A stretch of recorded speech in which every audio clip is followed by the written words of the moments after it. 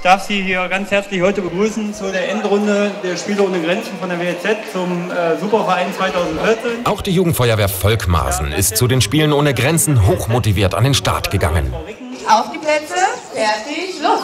Bei optimalen Wetter- und Rahmenbedingungen schlugen sich die jungen Leute glänzend. In Rekordzeit überwanden sie die erste Übung, die 10 Meter als menschliche Raupe.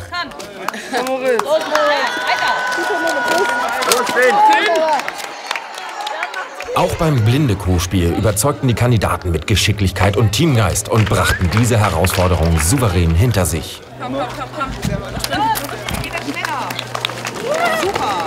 Unter den Zuschauern wurde auch Bürgermeister Lindekugel erspäht, der sich als Freiwilliger zur Demonstration der nächsten Aufgabe zur Verfügung stellte. Auch hierin zeigten sich die zehn Jugendlichen topfit.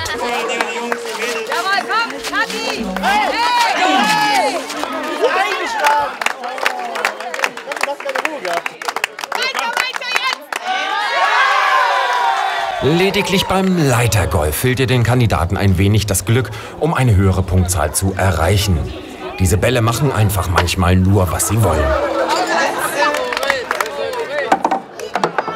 Aber diese fehlenden Punkte glichen die jungen Feuerwehrleute dann mit Mannschaftsgeist in der Schlussübung der Ballonkette wieder aus und bleiben somit weiter im Rennen um den rollenden Hauptpreis des Wettbewerbs Superverein 2014.